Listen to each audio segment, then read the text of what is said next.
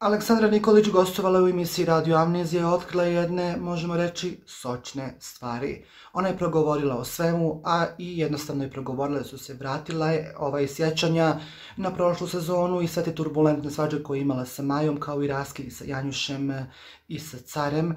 A kaže ona da je najljepša uspomena joj bila upravo ona kada je imala i svadbu sa Janjušem. Kada mi se car obraćao tokom raskida, ja sam mu rekla da nema nikakve veze ovaj, da više on budemo zajedno. Nema potrebe da on i ja više komuniciramo. On je rekao ove sezone neke stvari koje nije trebalo da priča. Filip i ja smo se jednom vidjeli ljetos, bit će ta tema, pa ćemo pričati upravo na tu temu. Koliko ja znam, on je tad još uvijek bio sa Majom, ali u tom momentu ja to nisam znala rekla je ona. Onda se osvrnula cijelu priču oko Dejana i Dalile i ona je i otkrila da je Dejan razočarao narod koji je bio uz njega. Najviše sam se našla u čudu kada su se Dalila i Dejan pomirili jer nisam mogla da vjerujem da je joj preko svega toga prešao. Dejan je ispao najgori u cijeloj toj priči, razočarao je sve te ljude, rekla je ona u emisiji.